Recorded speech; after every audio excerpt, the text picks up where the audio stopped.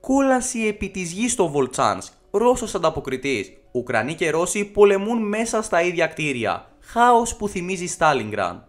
Δυτικές σελίδες που αναλύουν και ενημερώνουν τον κόσμο για τις στρατιωτικές εξελίξεις στο Ουκρανικό μέτωπο συμπεριλαμβανομένου του Διεθνούς Ινστιτούτου για στρατηγικές μελέτες ανέφεραν πως μεταξύ 18 και 19 Ιουνίου οι ρωσικές δυνάμεις κατάφεραν να προελάβουν στην περιοχή του οικισμού Βολτσάντ στο Χάρκοβο. Πιο συγκεκριμένα, ένα βίντεο που δημοσιεύθηκε στις 18 Ιουνίου φέτος δείχνει Ρώσους στρατιώτες να διατηρούν τον έλεγχο μιας βιομηχανικής περιοχής στον οικισμό. Για να υποστηρίξουν τις δηλώσεις τους, οι ειδικοί της Αμερικανικής Δεξαμενή Σκέψης, το Ινστιτούτο για τη Μελέτη του Πολέμου, ISW, είπαν πως η περιοχή αυτή βομβαρδίστηκε από αμερικανικές βόμβες ακριβίας τύπου JDAM-ER των Ουκρανών.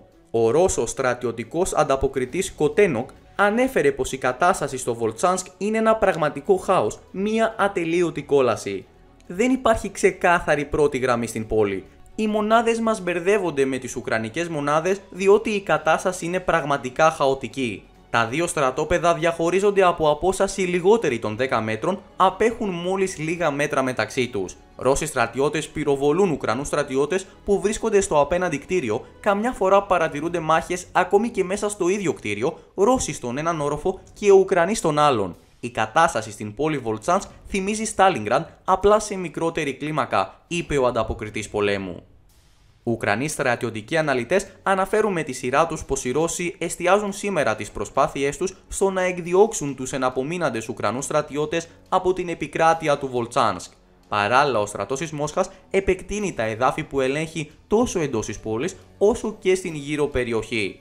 Κάποιοι ανεξάρτητοι παρατηρητές τέλος προτείνουν πως οι δυνάμεις του Κρεμλίνου κατάφεραν αναπάντεχα να καταλάβουν το χωριό Τίχοε, το οποίο βρίσκεται 1,5 χιλιόμετρο ανατολικά του Βολτσάνγκ.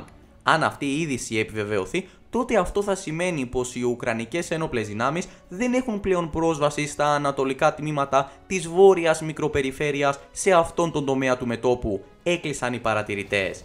Η είδηση της κατάληψης του οικισμού Τίκοε φαίνεται πως εξέπληξε τον κόσμο όσο εξέπληξε και τον Ουκρανικό στρατό.